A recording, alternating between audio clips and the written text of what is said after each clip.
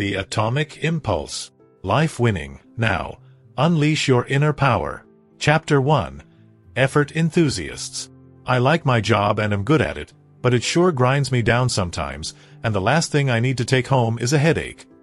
Anacin TV Commercial. On a cold, rainy October morning, Edward Kennedy stood by a factory gate seeking votes for the U.S. Senate.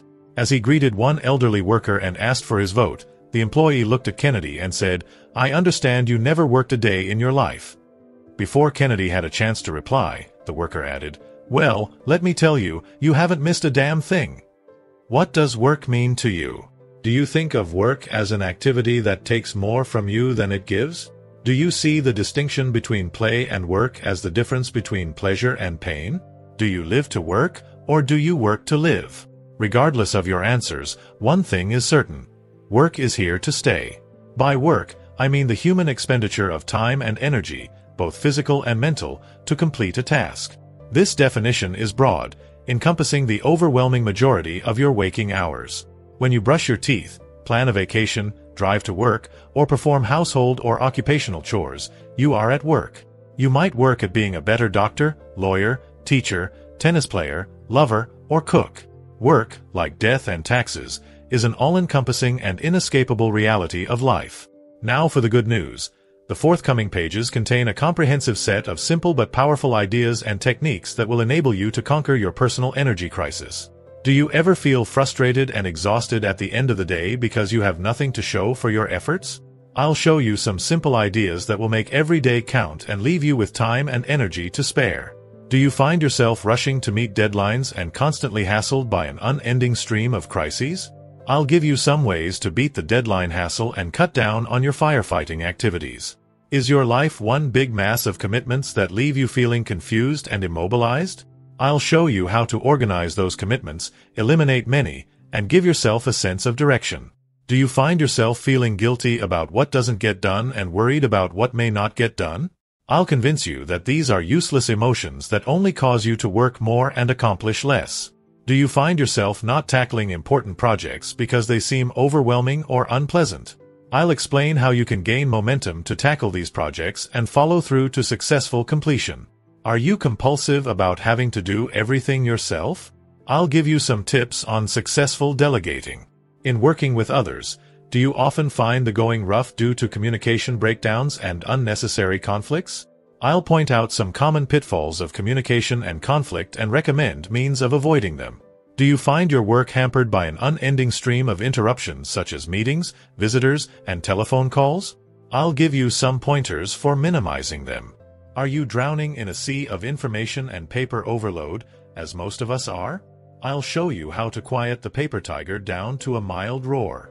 To be sure, this is a large order, but I am confident that you will benefit from many, if not all, of the ideas contained here. And the best part is that they are simple, proven, and immediately applicable. Effectiveness, the key to it all. As you read this, you may be thinking that this is a book written by some efficiency nut who wants to turn you into an unfeeling, unthinking automaton. Nothing could be further from the truth. All too often, many of us confuse effectiveness with efficiency. Being effective means choosing the right goals from a set of alternatives and reaching them. Efficiency, on the other hand, assumes the goals as given and proper and proceeds to find the best means of achieving them. Efficiency is doing the job right, whereas effectiveness is doing the right job. In a nutshell, effectiveness means results. Both are valuable concepts, but in my mind, effectiveness is far more important. What's your time worth? See Figure 1. Benjamin Franklin told us that time is money, and in the business sense, this is true. Time is like money in that it is measurable and you can't take it with you. However, as a resource, time has unique properties we are forced to use time at a constant rate. The inventory is being depleted at an amount of 60 minutes per hour, 24 hours per day, 168 hours per week. Time is irreplaceable. We are all given a finite amount of time, but the irony is that we never know how much we have until it's all gone. Few of us admit to having enough time, but all of us have all that there is. That is the paradox of time. Time is truly our most precious resource. How old are you? How many more years do you expect to live? When you die, how long will you be dead? I ask these questions not to depress you but rather to impress you with the briefness of our earthly existence. Waste your money, and you're only out of money, but waste your time, and you've lost a part of your life. Few of us would knowingly take half of our take-home pay and spend it on something that was of absolutely no use to us or anyone else. However, the vast majority of us spend at least 50% of each day in various pastimes that provide no earthly use or satisfaction for anyone, including ourselves. We literally waste away half of our lives and do it in oblivious indifference. Coming to grips with our mortality can help us or hurt us. If we choose to let it hurt us, we can wallow in the futility and tragedy of life. We can conclude that life isn't worth living. Or, as most of us do, we can fool ourselves into believing that our time is infinite, that there will always be tomorrow to fulfill those lifetime dreams and wishes. Fortunately, there are a few of us who deal with our mortality in a more constructive way. These people say to themselves, I'm not going to be here forever, so I'd better make the most of every minute, hour, day, and year. They view life as a brief but wonderful experience to be enjoyed to the fullest. They live their lives for themselves because they accept the reality that their life is all they have. They accept the responsibility for their own feelings, triumphs, and misfortunes. As a result of this take-charge attitude, these persons realize the necessity to plan their lives for maximum personal satisfaction. To make the most of your future time and energy, it is imperative that you devote some of your present time and energy to planning. Without sound plans to increase our personal effectiveness, most of us tend to drift and stagnate. Some people believe that planning is merely deciding what to do in the future. However, a better definition of planning is deciding what you have to do in order to have a future. The investment theory of work. Simply put, the investment theory of work states that you must be willing to sacrifice some of your present time, energy, and short-range satisfactions in order to work less and accomplish more later on. There is nothing new or earth-shaking about the investment theory of work, and all of us have used it from time to time. When you take a part-time job in addition to your regular duties to save for that new house or car, or when you go back to school for additional or advanced training, you are applying the investment theory. Most of us, however, don't rely on it systematically as a working principle in our lives. The reason for this is what I call the instant everything lifestyle. This has become a prevailing norm in our society. Pick up any newspaper, turn on the radio or television, or drive down any suburban highway, and voices from the land of instant everything will announce their readiness to satisfy your every need. Are you hungry or thirsty? There are fast food restaurants and express checkout supermarkets by the score. Dislike the way you are? There are literally thousands of establishments crying to make you taller, shorter, lighter, heavier, sexier, healthier, more beautiful, and smell better. Want to change your mood? There are pills and potions to pick you up, bring you down, keep you awake, and put you to sleep. The list could go on endlessly. It's the incredible miracle of 20th century living. One of the problems with instant everything is that it lulls us into neglecting the future. All that matters is the urgency of satisfying present needs. However, the future is not instant. It runs on a very precise schedule and takes its time getting here. To be sure, tomorrow is promised to no one, but it is also a fact that most of us will be here when it arrives. Fail to control your future, and it will control you. Your use of time and energy will be dictated by circumstances rather than by yourself. The relationship of you to time is always one of master to slave. There is no middle ground. The only question is which role you choose to play. Many of the ideas suggested in this book will at first be unfamiliar and uncomfortable, and involve a greater initial investment of work than old comfortable habits you have grown accustomed to. However, as the Queen told Alice in Lewis Carroll's Through the Looking Glass, it's a poor sort of memory that only works backwards. As your two-way memory looks forward, you will realize the rewards are indeed greater accomplishment coupled with less devotion of your time and energy. I happen to be one of those people who believe that happiness and success don't just happen to someone. They happen when opportunity meets preparation. Those who succeed do so because they were willing to invest in the groundwork and were prepared when the tide of good fortune rolled in.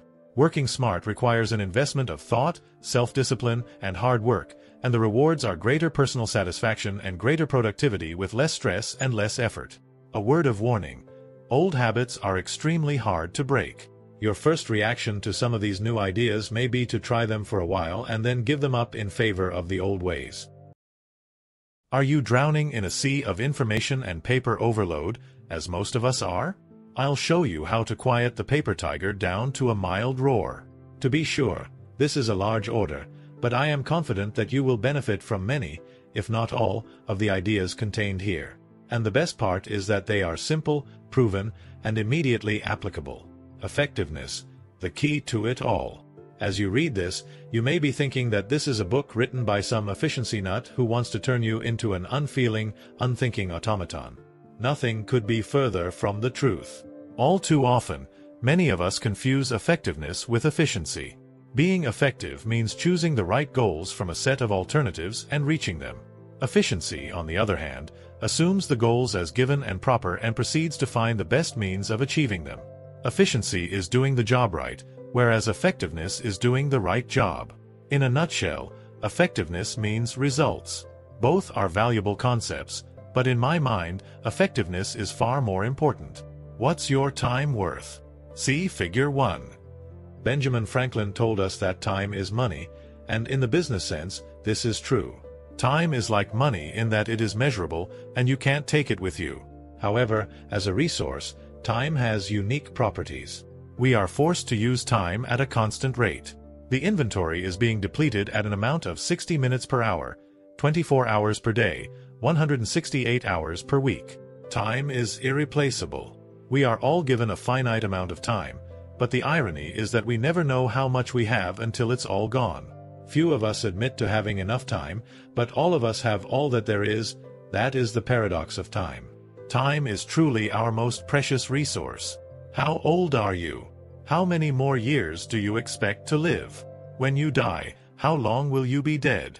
I ask these questions not to depress you but rather to impress you with the briefness of our earthly existence. Waste your money, and you're only out of money, but waste your time, and you've lost a part of your life. Few of us would knowingly take half of our take-home pay and spend it on something that was of absolutely no use to us or anyone else. However, the vast majority of us spend at least 50% of each day in various pastimes that provide no earthly use or satisfaction for anyone, including ourselves. We literally waste away half of our lives and do it in oblivious indifference. Coming to grips with our mortality can help us or hurt us. If we choose to let it hurt us, we can wallow in the futility and tragedy of life. We can conclude that life isn't worth living. Or, as most of us do, we can fool ourselves into believing that our time is infinite, that there will always be tomorrow to fulfill those lifetime dreams and wishes. Fortunately, there are a few of us who deal with our mortality in a more constructive way.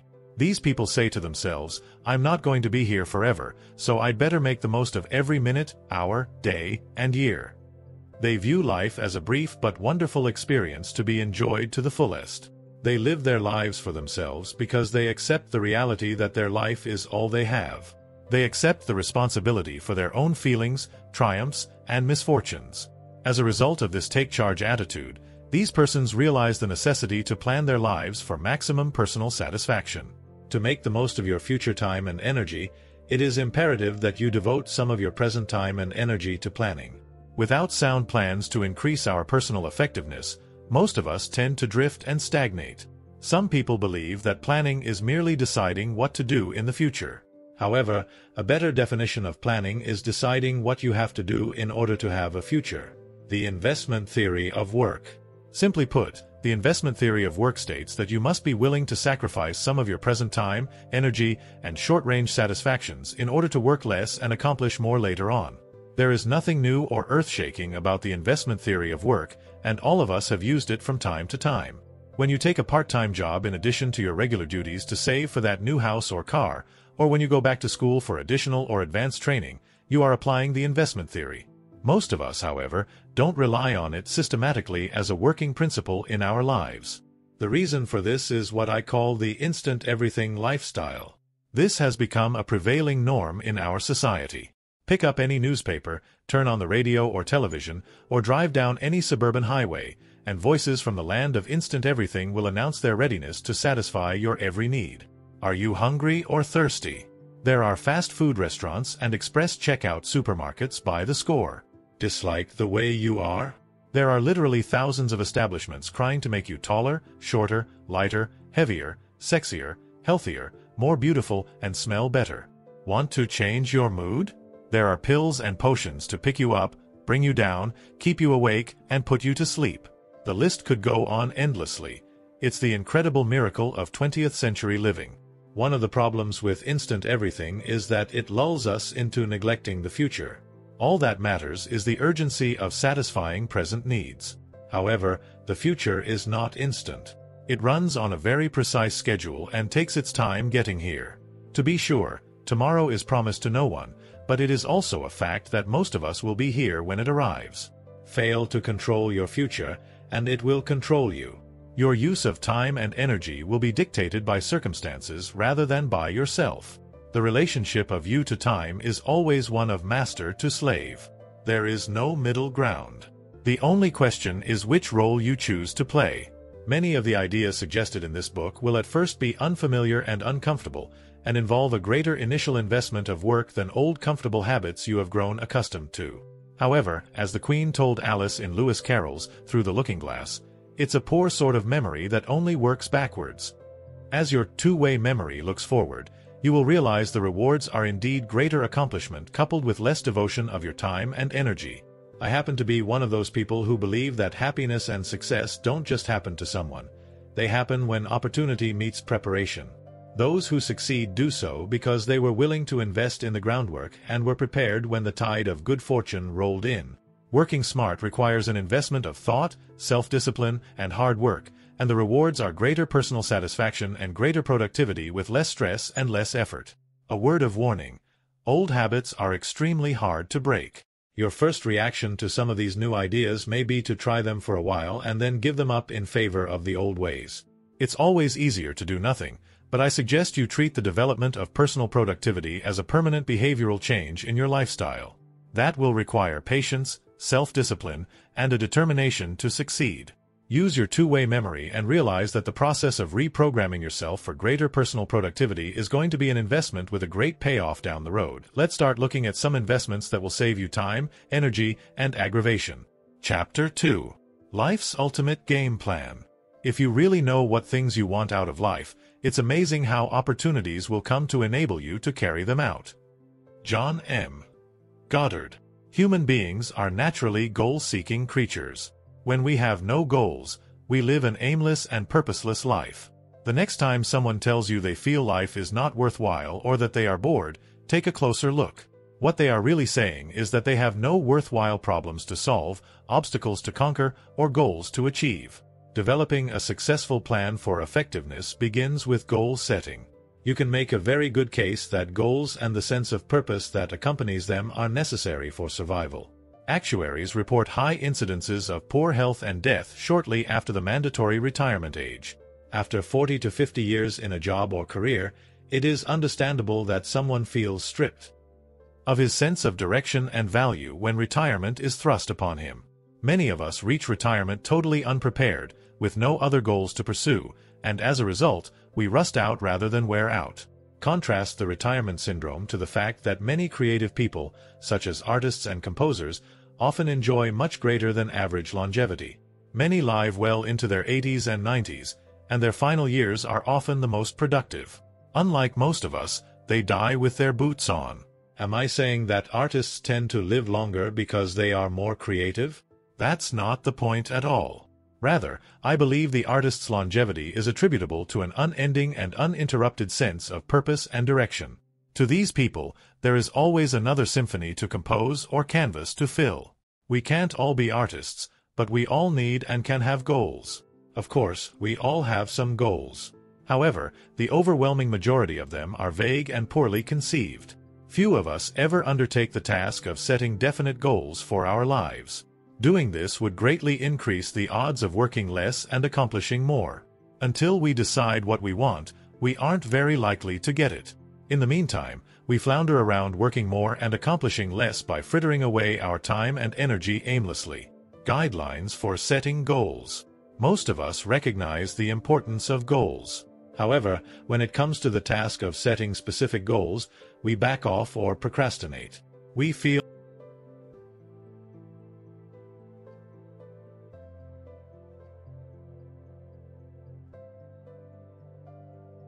We feel uneasy about it. Planning our life seems like such an onerous task that most of us simply throw up our hands and say, in effect, I just don't know where to begin. Here is a program that will provide the structure you need to get you started on your way to meaningful goal setting. If you follow these instructions and guidelines, the task of goal setting will become far less burdensome. In fact, you will probably enjoy it. An exercise in self-discovery. It makes little sense to decide what you want out of life until you have a good idea of who you are. This is why the following self-discovery exercise precedes goal setting. Once you have established a sense of who you are, you will be in a better position to set meaningful goals. Take 10 index cards. On one side of each card, write, I am. Now take about 10 minutes and complete each statement differently. Work rapidly, as the objective of this exercise is to discover your true feelings about yourself. Don't censor any answers that come to your mind. Write them down. Answers such as gambler, alcoholic, or ping-pong fiend are no less valid than answers like human being, parent, student, wife, homeowner, or sports fan. You may find you need more than 10 cards. That's fine. Use as many as you need. Some people find it difficult to come up with 10 answers. This is generally due to censoring their thoughts. If you encounter this problem, perform this exercise where you will be alone and undisturbed. Most of all, remember that there are no right or wrong answers. The key is spontaneity. When you have completed all 10 statements, read them over, arrange them in order of importance, and number them. Then turn over the first card and complete the following statement. This I am is first because. Do the same for the remaining cards, in order. A case study in goal setting, the Denny Had story. Denny Had, despite being financially successful as a stockbroker, found that the nature of the work didn't fit his temperament. He longed for something more tangible and felt frustrated by the inability to control his own destiny. Denny overcame his frustrations by realizing that only he and divine providence could control his destiny. An avid amateur radio operator since childhood, Denny decided to form the Dentron Radio Company to manufacture and sell equipment for ham radio operators. In April 1974, Denny quit his job, sold the family cars to acquire capital, borrowed heavily on credit cards, and began making amateur radio equipment in his basement. Dentron was born. Many of Denny's friends and relatives watched with sorrow and dismay, feeling certain that he had lost his mind. On August 28, 1974, Dentron Radio recorded its first sale. In April 1975, Dentron moved from Denny's basement to the Dentron plant in Twinsburg, Ohio. By the end of 1975, Dentron had grossed over $1 million in sales. Today, Denny Had is the owner and president of a growing multi-million dollar manufacturing and marketing operation that sells products to amateur radio enthusiasts and governments throughout the world. Boundless energy and enthusiasm for life characterize the Denny Had of today. The Denny Had method for achieving goals is simple. Once you decide on what you want, put on the blinders and move full speed ahead. Don't listen to anyone else because they will only tell you why something can't be done, says Denny. Not too surprisingly, his ulcer vanished years ago. Examples of different types of goals. Listed below are several examples of each type of goal. These examples are for illustration purposes only and are not meant to imply that any of these should or should not be your goals. If you think of a goal that falls into more than one category, write it down on each appropriate card. A goal appearing several times is usually a good one because it indicates a wide range of potential satisfaction to you. Career Goals Become president of the company by age 40. Get promoted this year. Find another career more in line with my tastes and aptitudes. Open my own restaurant. Get transferred to the home office. Become the top salesperson in my district. Get my boss's job. Get a job with my company's competitor. Quit work and become a college professor. Pass the CPA examination. Personal relationship goals. Devote two hours each day to getting to know my children better. Take at least one escape weekend every three months with my spouse. Try to meet at least one new person each day. Convert a former adversary into a friend. Fall in love. Get married. Get a divorce. Cultivate one new, close friendship each month. Learn to remember names. Evict my mother-in-law. Recreational goals. Find a better way to relax each day. Go on a safari. Attend an orgy. Get an amateur radio license and talk to people around the world. Buy a boat. Write a novel. Take a trip around the world. Raise Great Danes. Sleep late on Saturdays. Watch the sunset. Personal growth goals. Learn one new word each day. Take a speed reading course. Learn to make better use of my time and energy. Attend a lecture on something I know little or nothing about each month. Learn to control my temper. Take up conversational French. Go away to college. Join the Marines. Spend a night on Skid Row or in jail. Volunteer for charity work. Material goals. Be financially independent in five years. Buy a house this year. Get a sports car. Buy the best quadraphonic stereo. Buy a motorcycle. Buy a yacht and live on it. Acquire rental property. Add another bathroom to the house. Earn enough money to pay off the mortgage. Social goals. Join the country club. Make the dean's list. Graduate with honors. Run for political office. Wear expensive clothes. Move to an impressive neighborhood. Throw formal dinner parties for important people. Be captain of the football team. Be chosen employee of the month. Appear on radio or television as an expert. Be sure to refer back to your self-discovery cards as you begin to write down your goals. They will be a great help in pointing the way toward which goals will be most meaningful. If, for example, one of your self-discovery cards says, I am a father, logical goals might be to set aside more time each week for getting better acquainted with your children or adding a family recreation room to your house. If one of your cards says, golfer, saving for a new set of clubs or resolving to lower your score by a few strokes by the end of the year would be potential goals. The idea is to use the self-discovery cards as a guide to which things in life are most meaningful to you. The reason for putting goals in writing is twofold. First, writing goals helps you identify more clearly what you want. Most of us never write down our goals. We are simply content to think about them. However, thoughts are fleeting and if our goals are merely thoughts, we run a high risk of having little more than daydreams. Written goals are less likely to be forgotten or lost in the shuffle. They are tangible and we are committed to achieving them.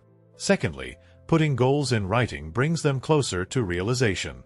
The more vividly you can see, feel, and taste your goals in advance, the greater the probability of their accomplishment. Chapter 3 Master Your Chaos Organizing is what you do before you do something so that when you do it, it's not all mixed up. Christopher Robin in A. Milne's Winnie the Pooh. In one of his films, W.C. Fields plays an executive whose desktop is a morass of clutter. In one scene, he returns to his desk to find that an efficiency expert has organized, rearranged, and streamlined it. The desktop is now a picture of neatness and efficiency, but Fields is frustrated. He can't find anything. So, he vigorously throws the neat stacks of paper up in the air, tossing them as a gourmet would a salad. Then he backs off, surveys the desktop with satisfaction, deftly reaches into the pileup, and pulls out the desired document. To fully appreciate the satire of that scene, we should place it in historical perspective.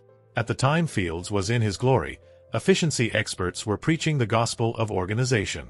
One of the cardinal sins of inefficiency was to have a desk with anything on top of it other than the immediate work at hand. A clear desk was heralded as the badge of efficiency and productivity. Today, we are less sure of this. Certainly, a life of organization is usually much more effective than one of chaos. Most of us could enhance our effectiveness with more organization. However, hard and fast rules are not the order of the day when it comes to organizing. This is what W.C. Fields was trying to tell us in the film. We all must organize to suit our own personality and the task at hand. As you plan your life, resist the temptation of becoming overly organized, it's an effectiveness killer. I had a friend in college who flunked out after one semester. The main reason was that he spent all of his study time reading various books on how to study and never got around to studying. The same problem can arise as you try to work smarter. Remember, these ideas are merely means to an end, and that end is to increase your lifetime effectiveness. Running around with a stopwatch and keeping a totally clear desk isn't going to accomplish what you want in life. Nevertheless, there are some good guidelines for organizing your life and your thoughts, and those are discussed in this chapter. Those are discussed in this chapter. If you practice these guidelines as guidelines rather than as hard and fast rules, you will find they will aid you in getting the most from your time and effort. With that thought in mind, let's look at a few of them. Chapter 4. Precision Tools for Perfect Results Thomas Carlyle once remarked, Man is a tool-using animal. Without tools he is nothing. With tools he is all. Those are words worth remembering. How many times have you labored at an unsuccessful activity only to find out that having a particular tool could have saved you a great deal of time, energy, and frustration? This type of experience is usually most apparent to us when we are trying to repair the family car or something around the house. This is because we tend to think of tools as tangible instruments, as many of them are. However, to make the most of this guideline, we have to use the word tool in a much broader context. A tool is anything you use to help you achieve your goals. No matter what your goals are or what activities you pursue, all of them involve tools. If you are an accountant, your tools include the obvious pencils, papers, and calculators, as well as your CPA certificate and your practical knowledge. If you work in an office, the office itself with its desk, chair, and floor space is a tool. Other examples of less obvious tools are automobiles, statistical tables, newspapers, foreign languages, and interviewing techniques. The list is endless. Before setting out to perform a task or achieve a goal, stop and ask yourself, what are the necessary tools to complete the task successfully, and do I have them? If you don't have the proper tools, first consider getting someone else to do the job. Your time, energy, and expenses may be greatly reduced by employing someone else. However, if it's something only you can do, make an effort to first equip yourself with the best tools available. The difference between wise men and fools is often found in their choice of tools. Organize your workspace. Consider the environment in which you will be performing the task. Organizing your workspace is largely a personal matter that depends on your own tastes and the job to be done. However, there are several basic factors to keep in mind. Location. If you are fortunate enough to choose your workspace, choose one that is conducive to performing the task. If the job requires concentration, look for a quiet, private place. On the other hand, if you are opening your own business, choose a well-traveled location where potential customers have easy access to your establishment. Space. After you have chosen the proper work location, measure how much space you have to work with. Most of us usually find we have less than we want. It helps to know what space is available before furnishing it with the necessary tools. Easy access to the tools you use frequently. Make a list of the tools you use and rank them in order of how often you use them. Then you will have a guide to arranging them for easiest access. Refrain from cluttering your workspace with non-essential items. The moosehead you had mounted after your last hunting trip to Canada may well be a sight worth seeing, but if it distracts you, you should place it somewhere else. Besides, it may occupy space where a more useful tool such as a memo board could be put. Comfort. Some people don't believe that workspaces should be designed for comfort. They are generally people who play the hard work tape or the work is inherently unpleasant tape. The fact is that discomfort is a distraction that serves only to hinder productivity. Why make things more difficult than they have to be? Life is already filled with more than ample supplies of discomforts, distractions, and frustrations. A comfortable workspace generally has the proper seating, ventilation, and lighting. If you work sitting down for long periods, choose a firm, comfortable chair that gives good back support. Try to find one comfortable enough that you won't have to get up every 10 minutes, but not so comfortable that you will fall asleep in it. To avoid eye strain, use indirect, uniform lighting. Adequate ventilation will help prevent unnecessary fatigue from stuffiness in the work environment. Which temperature range you work best in is a personal matter. However, be sure to locate your place in the workspace out of a draft. Master the art of deskmanship. A great many of us perform some or all of our work at a desk. As I mentioned earlier, a desk is a tool, and it is one of the most abused and misused tools. So, before delving into the application of this tool and how to get the most from it, we ought to consider what a desk is not. Specifically, a desk is not a place to conduct a paper drive. Judging from the many cluttered desktops I've seen, I'm convinced that paper recyclers would fare better if they raided desktops in office buildings rather than collecting old newspapers from the local shopping center. A storage depot for food, clothing, umbrellas, and other non-job sundries. I once moved into an office only to find I was sharing a desk with a colony of ants. It seems that my predecessor had willed me a large open bag of candy in the top right-hand drawer, but the clever little devils had beaten me to it. A place to stack items you want to remember. A German executive once remarked to Alec Mackenzie that desktops get stacked because we put things there we don't want to forget. The problem is that it works. Every time we look up, we see all these things we don't want to forget and our mind wanders, breaking our train of thought. With time, the stacks grow higher, and we forget what's in each one.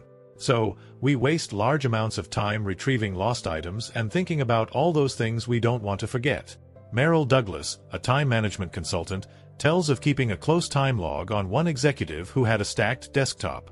The log revealed that he spent two and a half hours per day looking for information on the top of his desk.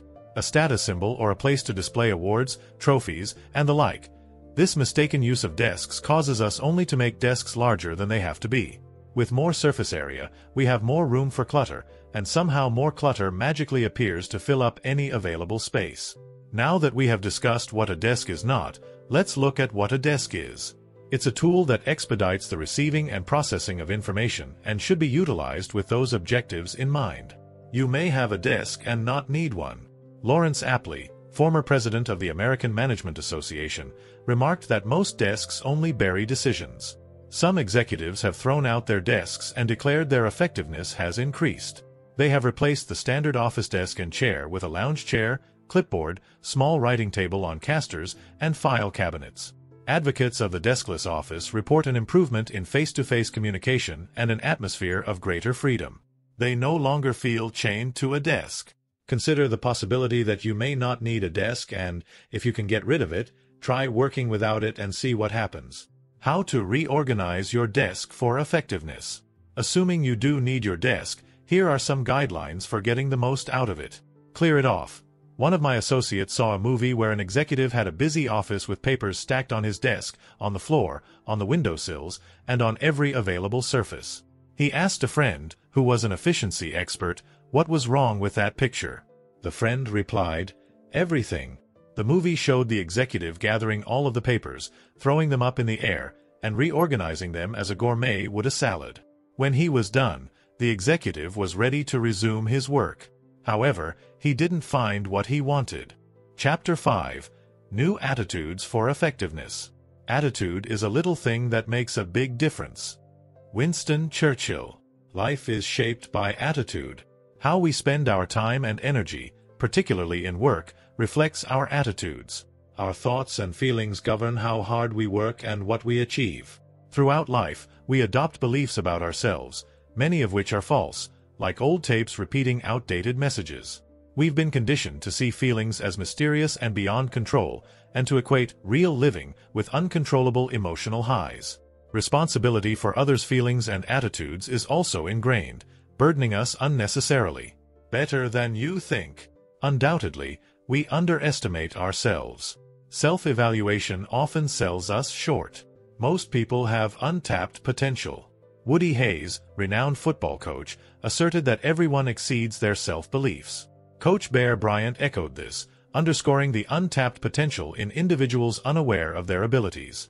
Our self-image drives our behavior, a self-fulfilling prophecy where actions confirm beliefs.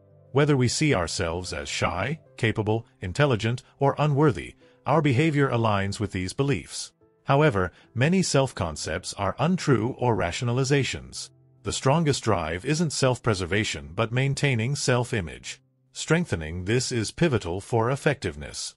Winners perceive themselves as such, increasing their success rates. Conversely, losers often fulfill negative prophecies. Disraeli noted, we create our fortunes and call them fate. Strengthen your self-image.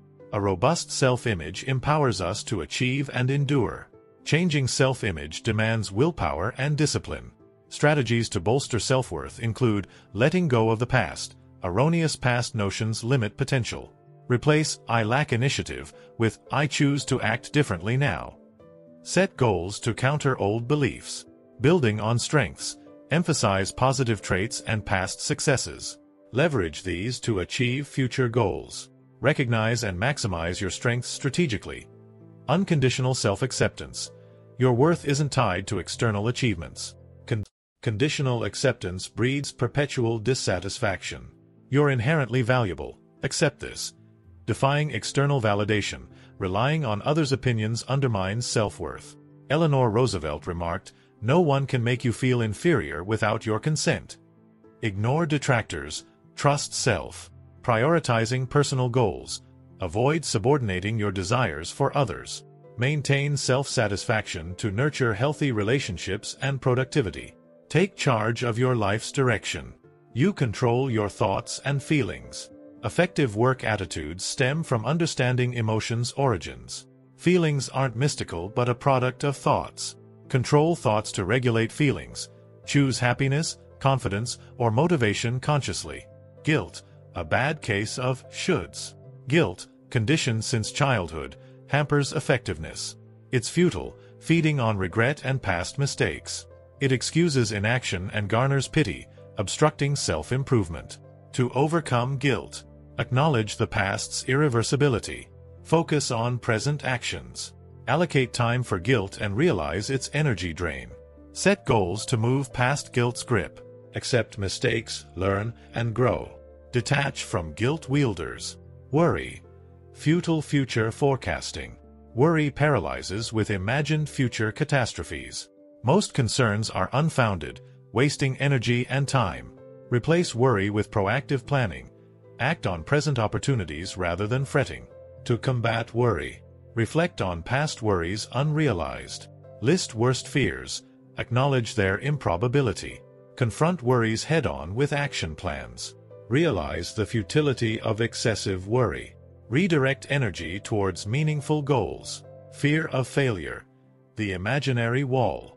Fear of failure inhibits action and stifles potential. Failure is subjective.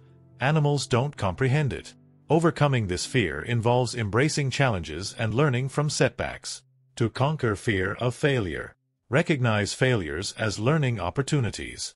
Reframe failure as a stepping stone to success. Challenge self-imposed limits. Reject the safety of inaction for the risks of growth. Support others' efforts despite setbacks. By shedding guilt, worry, and fear of failure, we pave the way for a more effective, fulfilling life. Embracing positive attitudes and self-belief propels us towards achieving our highest potential. Remember, attitude isn't just a small part of success, it defines it. The most vociferous critics are generally frustrated doers who are ruled by their own fear of failure. Those who give in to their fears and choose the psychological payoffs overlook one major point. Failure is not a measure of success. In fact, as we have already pointed out, failure isn't anything.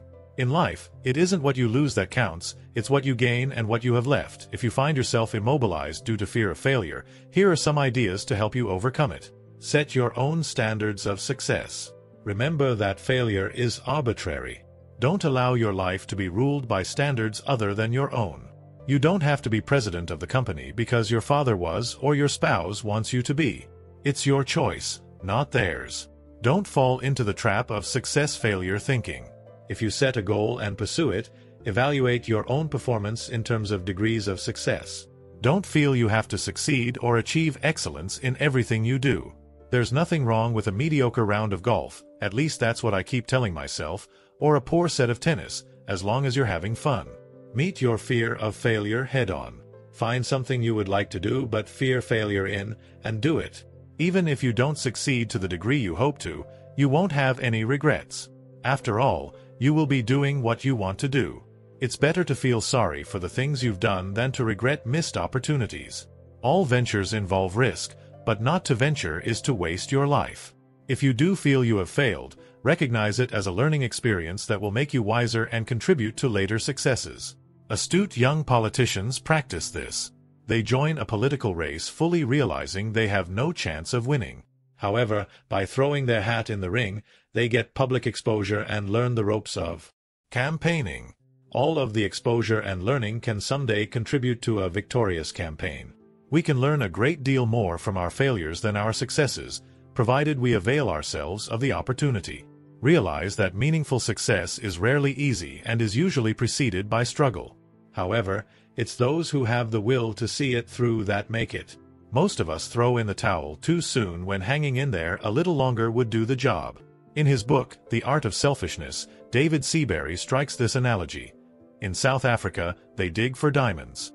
Tons of earth are moved to find a little pebble not as large as a little fingernail. The miners are looking for the diamonds, not the dirt. They are willing to lift all the dirt in order to find the jewels. In daily life, people forget this principle and become pessimists because there is more dirt than diamonds. When trouble comes, don't be frightened by the negatives. Look for the positives and dig them out. Last but not least is the final time and energy killer. Anger. If anything good comes from severe anger and its byproducts of hatred and bitterness, I've yet to see it. It certainly accomplishes nothing regardless of whether it's aimed at others, oneself, or inanimate objects. In the final analysis, the angry person is saying, the world and its people must live up to my expectations. Of course, such a demand is totally ridiculous. Anger starts wars, and unless we learn to control it, anger may lead to the total extinction of humanity. Like the other three immobilizing emotions, anger has its neurotic rewards. If you're angry at other things or people, then it's all their fault for not living up to your expectations. Therefore, you don't have to change. Anger can get you loads of sympathy, attention, and power over those who will allow you to manipulate them. Poor George, he has such a terrible temper. It's really a shame because he has such bad headaches, backaches, and high blood pressure as a result. Let's just do what he wants. God forbid what might happen if he gets mad. And besides, it's not his fault that he's such a sensitive, intense, and totally alive person. Anger gives you license to go temporarily insane, thus exonerating you from responsibility for unsatisfactory behavior. You can tell yourself and others, I don't know what came over me. I just lost my temper. Finally, anger is an excuse for incompetence. You can blame your bad temper for your inability to think straight or take constructive action. Of course, all of those payoffs are total wastes of time and energy. Getting out of your car and kicking the tires when you break down on the freeway isn't going to get you rolling again. However, the most self-destructive anger is that which is aimed at other people. The late Senator Hubert Humphrey put it best, bitterness takes too much energy and accomplishes nothing. It doesn't hurt the other person. You think you're sending out the rays of bitterness like laser beams, but they stay inside of you, consuming you. We live in an angry age typified by high crime rates, petty bickering, broken homes, and people suing each other at the drop of a hat. Whatever the reasons, there are lots of us who evidently feel that the solution to our problems is anger. How unfortunate. You are best off if you can eliminate your anger completely. If you can't eliminate anger, here are some useful ideas for coping with it. Vent your anger constructively. It isn't healthy to suppress anger, but there are constructive alternatives to venting it. For example, you can work your frustrations out with a regular exercise program. Sometimes a little anger can provide an additional spark to move you toward meeting your goals. For example, when I first started making plans to write this book, I mentioned it to one of my colleagues at work. He laughed at the idea and said it would never get written, much less published. I went home and started writing that day. His negative reaction was just what I needed to get me moving. How can I ever thank him enough? Take your work seriously, but not yourself. Ethel Barrymore put it best when she said, you grow up the day you have your first real laugh at yourself. There is absolutely no future in taking life too seriously. Our mental institutions and prisons are filled with people who have. Develop your sense of humor and use it frequently. It is impossible to laugh and be angry at the same time. A good sense of humor creates positive energy and prevents the negative emotions from clouding your life. Your life is a gift that you must give back to your Creator one day. So enjoy it to the hilt and leave the long faces to those who are going to live forever. Accept the fact that many things in life will not live up to your expectations. This is hardly a perfect world, and I don't know about you, but I'd feel terribly out of place if it were. Practice accepting those things in life you cannot change. Tolerance and serenity are great antidotes to anger. Give your anger a rain check. If something bothers you, count to 10 or, better yet, tell yourself, I'll get mad about this tomorrow. Postponing anger is a good way to minimize it. Spontaneously unloading your anger on your boss, spouse, or secretary can escalate minor mishaps into major catastrophes. Postponing your anger can reduce the odds of that happening. Realize that you don't have to get mad